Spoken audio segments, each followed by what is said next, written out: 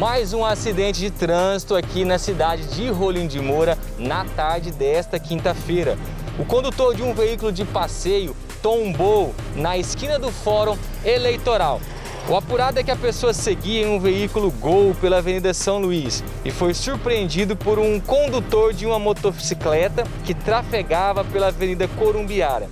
Então, para não colidir com o motorista da motocicleta, o veículo Gol se desviou, vindo a perder a direção e batendo num veículo HB20 que estava estacionado. Devido ao choque, o HB20 foi projetado à frente, colidindo na traseira de um Corolla, que também estava estacionado, causando assim mais danos materiais. Já o veículo Gol acabou tombando.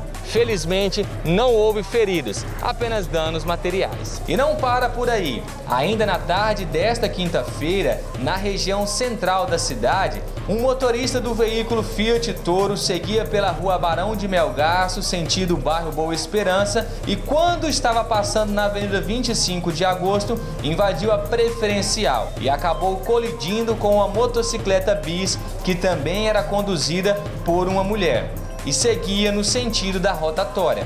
Com o impacto, a condutora da motocicleta foi levada ao solo, onde permaneceu até a chegada do corpo de bombeiros, que prestou os primeiros atendimentos, sendo encaminhada a condutora para a unidade de pronto atendimento, a UPA.